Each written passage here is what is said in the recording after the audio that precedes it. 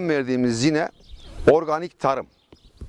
Yani organik tarım biliyorsunuz dünya şu anda obeziteyle uğraşıyor. Belediyemizin belediyeye ait, Afşin Belediyesi'ne ait araziler ve halkı yönlendirerek organik tarım.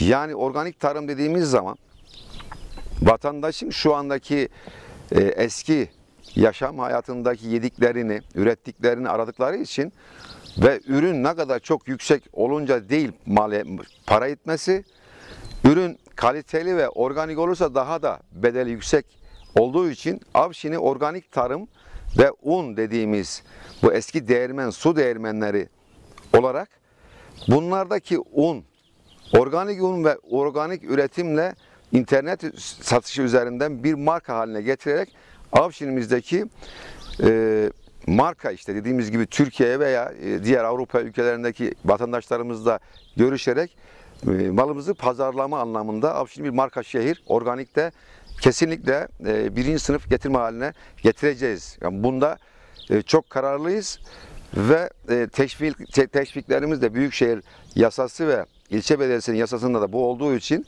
biz buna çok önem veriyoruz. İkinci projemiz de bu organik tarım.